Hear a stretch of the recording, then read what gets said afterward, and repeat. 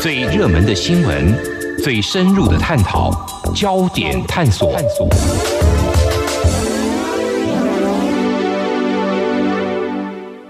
这里是中央广播电台。中国大陆今年前两季的 GDP 年增率都是百分之七，而最新公布的第三季 GDP 年增率为百分之六点九，创下六年来的新低。大陆第三季 GDP 成长率失守百分之七关卡，呈现出哪些讯息？而未来有哪些需要关注的地方？另外，大陆经济成长放缓对台湾有何影响和冲击？上一题我们今天节目中访问到淡江大学财务金融系教授李沃强李教授，我们分析说明。李老师您好。主持人好，各位听众朋友，大家好。李老师，大陆第三届 GDP 哦不到百分之七，是百分之六点九这样率哦，虽然略高于外界的预期哦，但是仍创下六年来的新低。您帮我们分析下，大陆第三届 GDP 不到百分之七，呈现出哪些的讯息呢？我们知道，大陆过去这个二三十年来，它经济是一个高度成长，也就是两位数的一个成长。但是呢，从二零一一年之后，就已经打破了两位数的高速成长啊，进入到一个中数，就个位数的一个成长。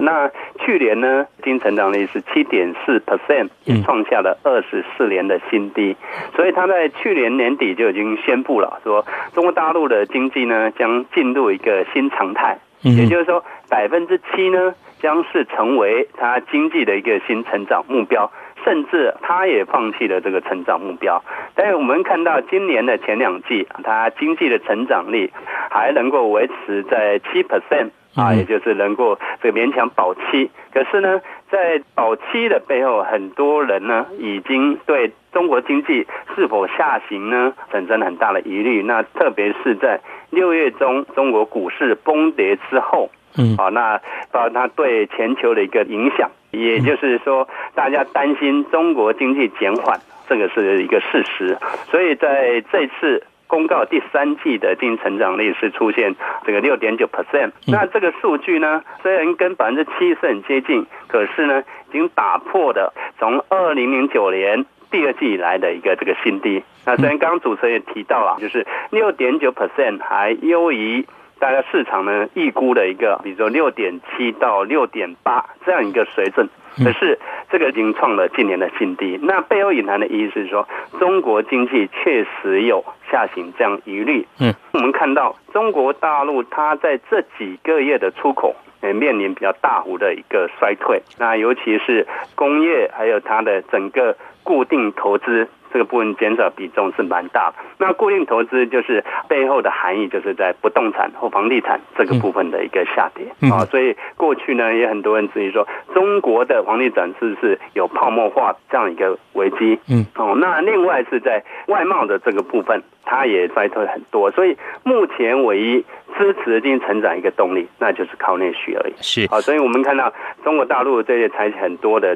包括救市或救经济的措施，所谓降息、降准这样一个措施。所以未来能不能，或者是说今年整个年度，嗯，能不能保期，就跟台湾能不能保一这样的余力是一样的。也是，老师谈到保期。那您觉得大陆要保期可能会提出哪些对策或措施呢？我想，这些国家都一样啊，就刺激经济的成长，不外乎就是所谓货币政策跟财政政策。嗯，那过去几年，我们看到美国，它就经济就采取 Q E Q 的政策。那 Q E 呢，就是一个非传统的一个货币政策，利用强大一个货币供给来这个让它的利率维持在一个比较低的一个水准，刺激它的一个投资。那就美国的 Q E 来讲，它是有达到。它经济复苏的一个目的，可是我们看到日本，那日本的是 QE，甚至实施 QQE，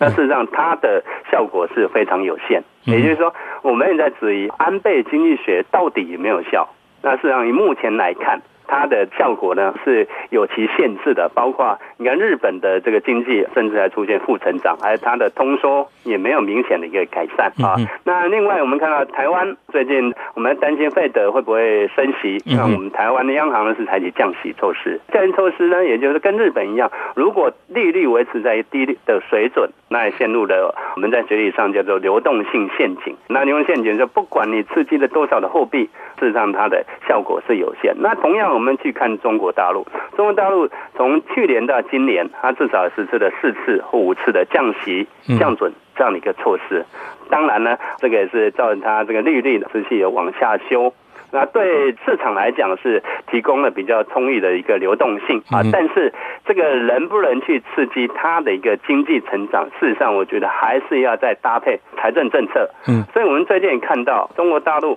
它除了这个货币政策之外，它也对公共建设投资这个部分开始做了比较大的益助啊。那特别是在中国呢。在这几年，他还提出几个比较大的一些建设或一些重大的战略啊，包括了这个“一带一路”的推动啊，包括了对制造业提出了“中国制造二零二五”，还有最近呢，这个提出了一个国企的改革，嗯哼，还有这个月底将要出炉的“十三五”的规划，嗯哼，那这里面都是包含了对整个经济的一个成长的目标、一个愿景，或者是特别是说，他希望在二零二零年呢，能够达到所得翻倍。啊，这样一个成长的目标。老师，我再请教您啊，就是说，为什么大家都非常关注这个中国大陆 GDP 能不能能保百分之七的这关卡呢？我们也了解，中国呢，从它的经济成长超越了德国，甚至超越日本，啊，成为全球第二大的一个经济体。所以，再加上在九月底的欧席会之后。那我们很明显可以看到，所谓 G two 啊，这个态势已经形成。加上我们也可以从八月底这全球的股灾可以看到，你看中国打喷嚏，全球都感冒，包括美股，你你看他也担心中国经济的下行。包括八月十一号，人民币在一天之内它跌幅了一点八六 percent，啊，那造成了这个全球性的股灾。看来，那显然的。中国经济的一个潜对全球的影响力是非常的大啊！我们很了解，因为中国是全世界那原物料最大一个需求者，所以原物料呢也跌到这个近十六年的新低。因为中国经济的减缓，需求减少，好，那需求减少对很多国家的外贸啊进口出口。就比大这大的冲击，美国也是一样，那台湾更是，嗯嗯嗯，啊，所以我们可以看到中国的影响力在全球呢是越来越大的。是老师刚帮我们分析了中国大陆经济放缓哦，对区域还有全球的经济的影响。我们看到台湾哦，刚刚老师也谈到说，我们这个出口已经连续有多个月衰退，经济成长率也面临着保一的挑战。老师，您建议我们台湾应该怎么样来提振出口，促进经济发展？我们要从哪些面向来着手呢？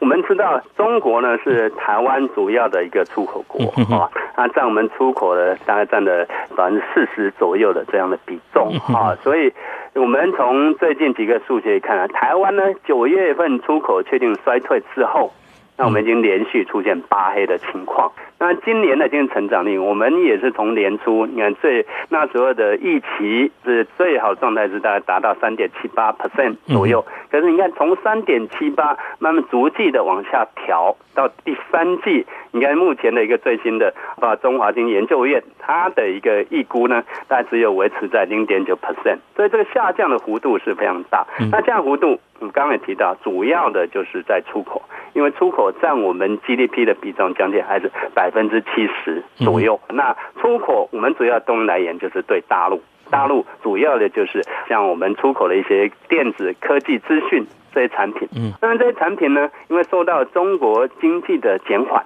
那我们出口呢衰退的，另外一个很重要的关键就是说，中国大陆这几年呢，它整个产业的供应链已经渐渐的形成，也就是说我们所谓的红色的供应链，所以这个影响到台湾呢很多科技业，包括石化啦、面板、纺织、工具机、汽车零组件这些关键产业的一个出口，所以台湾如果要减缓这样的一个冲击，那我觉得第一个就是怎么样去拓展我们的内需跟投资，因为我们看到我们的投资的比重，从一九九一年到这个两千年之间，我们那时候还有二十六到二七 percent 这样的一个比重，嗯，可是呢，到最近几年呢，已经降到二十一 percent 左右了。这个反映我们不仅民间投资减少，国外的投资包含的入资来台，我们入资来台，你看从二零零九年到现在。也不过是只有十二点七亿美元而已，啊，所以投资的减少，那消费的减少，事实上也对我们的 GDP 呢造成比较大一个冲击。嗯，所以在出口不容易改善的情况下，那我觉得首要的啊要做的就是怎么样去提升消费者的信心，那怎么样去促进民间跟对外投资。所以我们的超额储蓄，你看有好几兆，那怎么去引导？这个资金进我们的公共建设，那政府在预算的时候，怎么样去增加我们公共建设的投资？因为政府当然一个重要角色就是它是一个药引，这个药引如果能够带动，那有比较好的投资标的，那这样对整个投资的这个益处呢是比较有帮助的。那出口的部分，因为中国经济减缓，那这免不了。那怎么办呢？我们出国比重这么重，嗯哼，所以我建议就是说，这个部分要尽量的去减低对大陆的依存度。哦，我们知道最近这个东协国家的发展就非常的快速，嗯那特别是最近呢，你看美国所主导的 TPP 第一轮谈判，那已经这个完成了嘛，嗯，所以在完成里面，那对 TPP 的这个国家，实际上它的经济成长是有相当大的注意。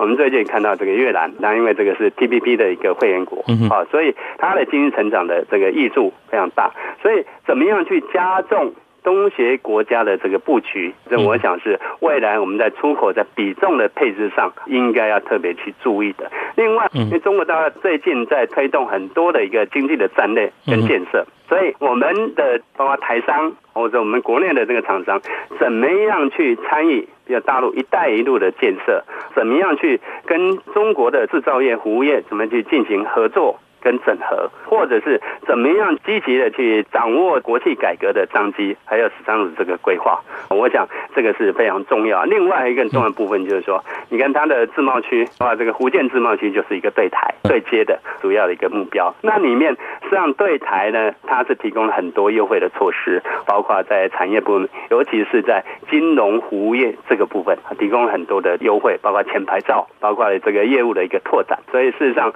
金融要跟胡贸脱钩，那这个就是一个最好的机会，所以就是看我们能不能掌握这样的一个契机。是，所以面对两岸还有区域经贸情势变化，台湾赶快加营应。好，我们今天节目中呢，非常高兴访问到丹江大学财务金融系教授李沃强李老师，针对中国大陆今年第三 GDP 成长率破了百分之七，主要的原因何在？呈现出哪些的讯息？另外还有大陆经济成长放缓对台湾有哪些影响，以及台湾该如何应为我们做详细的分析说明。非常谢谢李老师接受访问，谢谢您，谢谢主持人，谢谢各位听众朋友。